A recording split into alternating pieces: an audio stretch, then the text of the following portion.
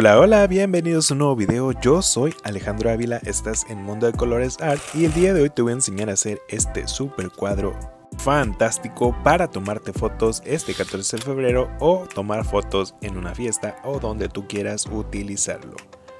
Y sin más que decir, quédate a ver este video. Para elaborar este cuadro vas a utilizar los siguientes materiales. Yo estoy utilizando esta estructura de unicel que conseguí en una tienda en donde venden productos para manualidades. Este es un tamaño mediano porque existe otro tamaño grande y otro mucho mucho más pequeño. Vamos a utilizar también placas de foamy, en este caso yo estoy utilizando pliegos porque estos pliegos abarcan aproximadamente 4 foamies de tamaño carta, estoy utilizando 3 color rojo y uno color blanco o lo puedes utilizar plateado también. También vamos a necesitar pegamento, en este caso es libre tu decisión, puede ser en barra o también líquido, aquí no hay ningún problema. También puedes utilizar silicón caliente y también unas pequeñas tijeritas que corten súper bien pero que no sean peligrosas para que no vaya a ocurrir un accidente. También vamos a ocupar una pluma, un lapicero o lo que tú tengas para marcar. En este caso voy a utilizar una pluma para evitar que haga líneas que no se vean. También vas a ocupar rosas o cositas que tú tengas para decorar. Estas yo las encontré en Parisina y la verdad están súper padres y son aterciopeladas. Y también pompones si tú tienes color rojo, si tú tienes color del que tú vayas a hacer tu cuadro, no hay problema. También los puedes utilizar para decorar.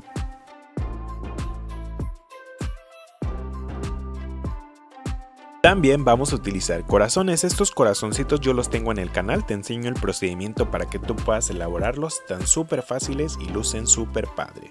Y voy a agregarle esta pequeña estructura que encontré en una tienda también súper barata para que se vea muy bonito. Y este curly para colgarlo si es que tú lo vas a colgar en caso de que vaya pegado a la pared. Y vamos con el procedimiento. Lo primero que vamos a hacer es estructurar nuestra pieza de unicel y lo que yo siempre hago es acomodarla de tal manera que únicamente me quede para que yo posteriormente fije las orillas con un poquito de pegamento, resistol en este caso, y lo asegure absolutamente. Yo siempre hago este paso, ¿por qué? Porque regularmente cuando no colocas pegamento al armar tu estructura se te está desarmando a cada ratito, entonces con el pegamento tú te aseguras absolutamente de que quede fija y evitar esos problemas y corajes de que se nos esté destruyendo. Vamos a ir ubicando cada una de nuestras piezas y con nuestros deditos fijando un poquito para que nos aseguremos de que quedó totalmente pegada y vamos a asegurarnos con nuestros deditos embarrando un poquito las orillas para deshacernos de estos pequeños líquidos y nos va a quedar algo así. La ventaja de esta estructura es que nada más es únicamente para armarla. Que vamos a hacer es ahora tomar un pliego de foamy en color rojo y vamos a colocarlo de una manera volteada, bueno, con la cara brillante hacia abajo. ¿Por qué? Porque lo que vamos a hacer es traer nuestra estructura de unicel y lo que vamos a hacer es marcar cada uno de los contornos de nuestra estructura. Pero como nuestras piezas son un poco pequeñas lo vamos a ir elaborando por partes. Vamos a tomar nuestra plumita, con mucho cuidado y mucha paciencia vamos a ir marcando esta orilla. Esta orilla recuerda que la vas a marcar dejando aproximadamente 0.5 centímetros o medio centímetro de contorno para evitar que quede totalmente al ras. Y ya que quede marcada nos va a quedar esta figura. Esta figura la marqué porque posteriormente con mis tijeritas la voy a recortar. Recuerda siempre tener paciencia para que las cosas te salgan de maravilla y como tú las quieres. Con mis tijeritas voy a proceder a recortarlo. Estamos observando aquí que nuestra estructura por la parte interna es totalmente recta y por la parte exterior tiene unas pequeñas ondas que le dan esa pista más dinámica a nuestra estructura y la vamos a voltear para asegurarnos de que quedó como nosotros queríamos. Ahora es tiempo de ir por nuestra estructura de unicel y vamos a verificar que la pieza que cortamos se adapte totalmente a nuestra estructura. Es lógico que se va a adaptar porque la marcamos totalmente como la queríamos.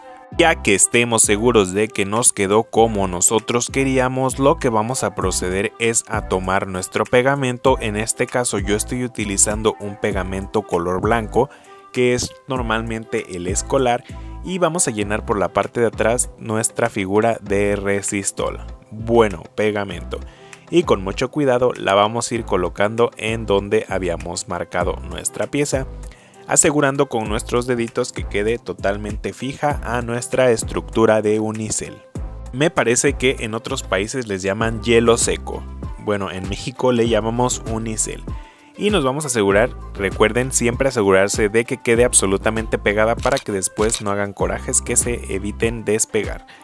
Y lo mismo, el mismo procedimiento, vamos a realizarlo con toda nuestra estructura. Este procedimiento es uno de los más sencillos, únicamente guíense o váyanse hacia un lado para que ustedes vayan colocando y viendo qué cantidad de foamy le falta a nuestra estructura para poder forrarla toda de una manera dinámica y bonita.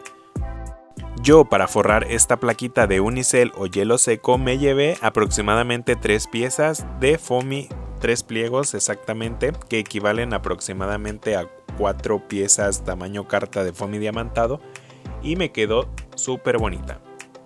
Recuerden que esta estructura o esta dinámica o esta técnica más bien de forrado la pueden utilizar para elaborar cuadros o marcos para fotos de diferentes temáticas. Pueden ser de otros colores, amarillo, rosa, azul, el color que tú quieras en el evento que tú quieras. Y de esta manera nos va a quedar forradito nuestra estructura de unicel así que somos muy libres de decidir cómo decorarla. En este caso yo hice estos pequeños corazones en forma de roseta. Bueno, estas rosetas en forma de corazón. El video lo tengo en mi canal por si gustas ir a observar cómo las elaboré. Pero para ello les voy a hacer un pequeño cambio o les voy a añadir un pequeño corazoncito de foamy diamantado en el centro. Voy a tomar una hojita tamaño carta y voy a cortar a la mitad un corazoncito que al abrirlo me va a quedar de esta manera. Pero como yo no lo quiero negro, sino lo quiero en colores rojos y blancos, lo único que voy a hacer es tomar mi pliego de foamy color blanco en diamantina y con mi pluma o lápiz o lo que tú tengas para marcar, vas a proceder a marcarlo. En este caso yo únicamente tengo tres corazoncitos, así que voy a marcar nada más tres piezas.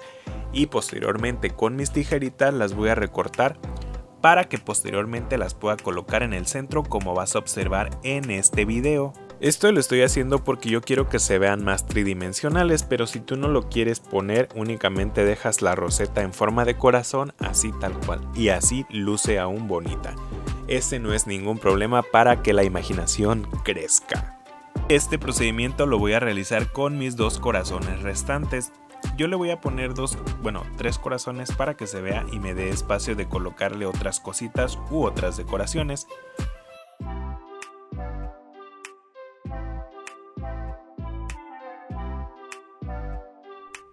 Ya que yo tengo mis corazoncitos de esa manera, únicamente voy a distribuirlos en mi marco que anteriormente habíamos forrado y con un poquito de pegamento los voy a asegurar para que queden absolutamente fijos. Ahora lo que vamos a proceder es a recortar un corazón de la misma manera anterior que habíamos recortado el del centro de los corazones rojos y lo vamos a hacer un poquito más chaparrito y más ancho. ¿Por qué? Porque estos corazones son con los que nosotros vamos a decorar todo el resto del marco. En este caso yo los voy a hacer blancos porque mi estructura de mi unicel ya es color rojo y para que resalte un poco o se vean un poquito más llamativos los voy a colocar de manera blanca y para esto voy a marcar diversos los que tú quieras, aquí no hay límites y con tus tijeritas posteriormente los vas a recortar.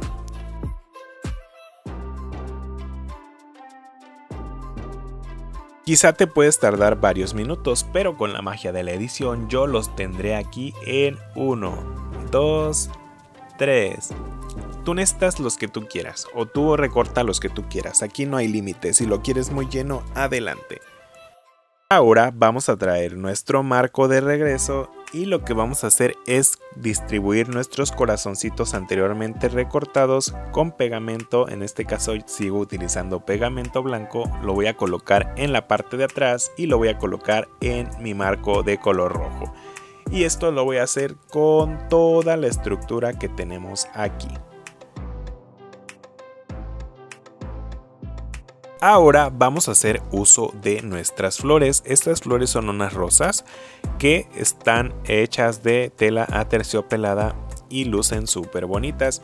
Vamos a quitarles la etiqueta porque yo no quiero utilizar la etiqueta, pero sí les vamos a dejar estas pequeñas hojitas y les vamos a cortar el tallo. Vamos a dejar nuestras rosas de un lado y vamos a hacer esta carta de amor. Esta carta de amor está súper fácil de hacer. Lo único que tú necesitas es una pieza rectangular. En este caso yo estoy utilizando de patrón esta pieza que me quedó en color rojo. La voy a hacer blanca porque como todo mi marco es color rojo yo quiero que resalten figuras o estructuras de otros colores que no vayan acorde a mi marco. Y ya que tengo este cuadrito, lo único que vamos a recortar es ese famoso piquito que traen las cartas y para ello corté un rectángulo que corté o doblé a la mitad para que me quedara un piquito de esta forma. Aquí me quedó un poquito grande, pero eso no es ningún problema porque me voy a guiar de acuerdo al piquito y lo que voy a hacer únicamente es cortar el resto. Y este resto me puede servir para decorar otras cositas con corazoncitos pequeñitos y con nuestro pegamento vamos a asegurarnos de que quedó como nosotros queríamos y si no quedó como tú querías únicamente vete haciendo los ajustes necesarios para que tengas tu carta súper perfecta. Vamos a tomar nuestro pegamento y con nuestras manitas vamos a asegurarnos de que quedó pegado totalmente y vamos a redondear las orillas de este elemento. Ahora vamos a proceder a tomar el corazoncito que habíamos elaborado en la primera parte para decorar nuestro cuadro y nada más vamos a recortar uno para pegárselo en el centro y que se vea un poquito más al estilo San Valentín, al estilo Día del Amor y de la Amistad y con pegamentito vamos a pegarlo adelante.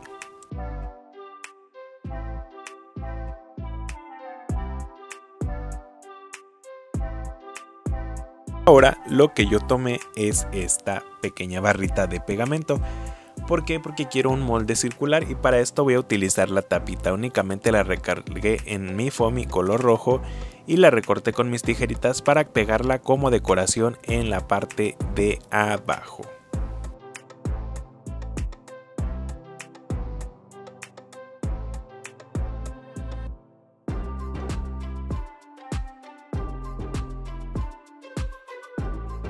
Tú puedes decorar la carta como tú quieras, en este caso yo voy a colocar una de las pequeñas rosas en la parte superior y lo único que voy a hacer es quitarle el tallo o el palito como lo conozcan y con pegamento lo voy a sujetar en la parte de encima del corazón. Ahora vamos a elaborar un corazoncito un poquito más pequeño. Este lo puedes utilizar como decoración ya sea en tu carta o en el marco, no importa. Y vas a marcar las piezas que tú quieras. Esto ya es muy libre, ya no hay como que un patrón que yo te diga, ah, necesitas tres, no. Esto es muy libre para ti. Ahora lo que vamos a hacer es trazar estos corazoncitos y los puedes pegar donde tú quieras. Yo los estaba utilizando en la carta pero la verdad la sentí muy llena y preferí dejarlos mejor para otra ocasión o para decorar el resto del marco. Ahora únicamente lo que vamos a proceder es a traer nuevamente nuestro marco a nuestra mesa y estos corazoncitos que yo había elaborado anteriormente únicamente los voy a colocar en el centro del corazón blanco para que se vea un poquito más profesional. Y ahora vamos a tomar nuestra carta que anteriormente habíamos elaborado y la vamos a colocar en cualquier parte del cuadro en donde tú lo veas necesario. Yo como quiero que todo lo que estoy haciendo llame la atención en la esquina superior derecha, únicamente la voy a colocar en esta parte. La iba a colocar un poquito eh, sesgada, pero preferí colocarla de manera recta. Ahora lo que yo voy a proceder a hacer es colocar estos pequeños corazones tridimensionales elaborados con hojas de papel. Este video también lo tengo en mi canal, tú lo puedes ir a ver en el video de cortina de corazones y vamos a proceder a colocarlos como tú desees. Yo estoy utilizando estas pequeñas esferas en color dorado porque el color dorado y el color rojo arman una armonía de amor. y lo único que voy a hacer es quería quitarles esta pequeña pestañita pero no se pudo. Y lo que hice o preferí o opté por hacer es hacer una pequeña cruz en mi marco y posteriormente encajarla. Obviamente sí antes de encajarla ponle un poquito de pegamento para asegurarla Yo estoy colocando un poquito de este pegamento y presionando con mis deditos para asegurarme de que te quedó totalmente sujeta y evitar de que al voltear el marco se caiga nuestra esfera. Y este procedimiento lo vamos a realizar con las siguientes más esferas y los demás corazoncitos. Esto yo lo opté o elegí hacerlo para que se viera un poquito más tridimensional y le diera un poquito más de volumen. Ahora lo que voy a proceder es a cortar un poquito el tallo de las rosas para que por ejemplo al insertarlas en nuestra placa de unicel o no en nuestra estructura de unicel no atraviese nada por la parte de atrás.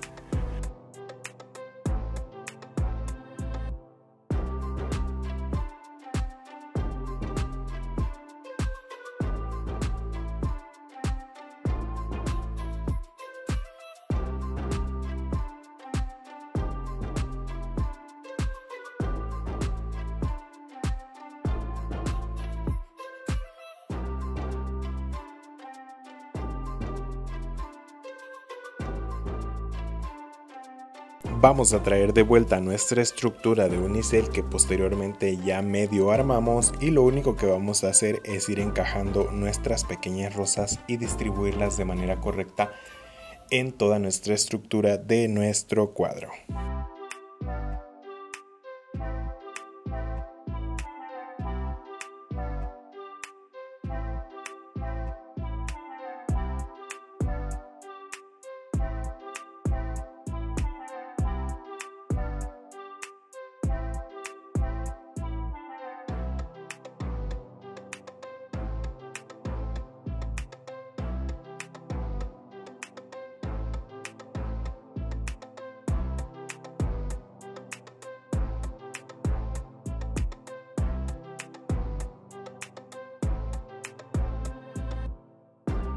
Yo encontré esta pieza que es un marco de madera como tipo pintura y lo único que voy a hacer es colocarla en la parte de abajo ponerle un poquito de pegamento y asegurarla y seguir poniendo estructuras o bolas dependiendo si me quedan huecos.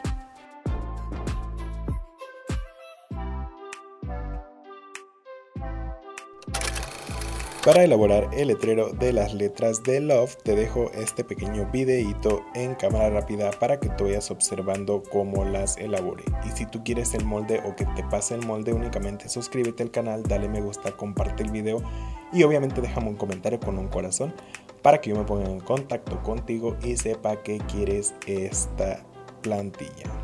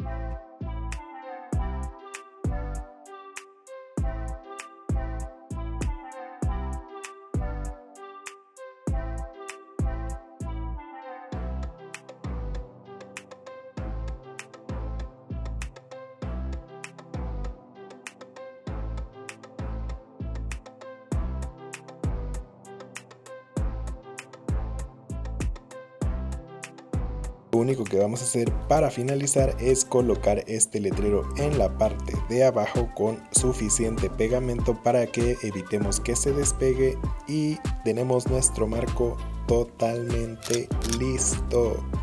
La verdad es una idea súper padre que tú puedes explotar tu imaginación y tu creatividad a todo lo que da. No olvides suscribirte a este video, darle me gusta, compartirlo y sobre todo ser parte de esta gran comunidad de Mundo de Colores y seamos miles, miles de colores. Yo soy Alejandro Ávila, esto es Mundo de Colores Art y esto sería todo por este video. Nos vemos en un siguiente. Adiós.